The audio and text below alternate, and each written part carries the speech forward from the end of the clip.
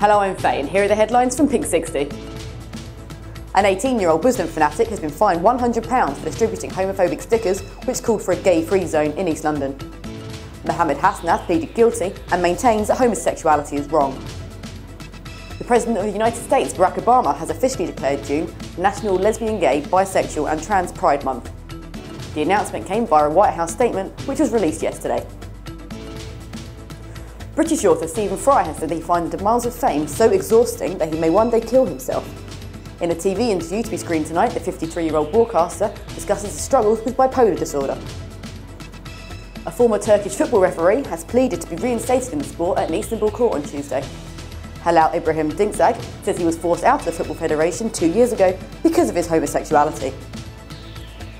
Finally, fashion designer Marc Jacobs will not be suing singer Justin Bieber over his new perfume. Critics slammed the pop star scent for looking suspiciously like Jacobs' product Lola, but both laughed it off. That's all for today. Join us again tomorrow.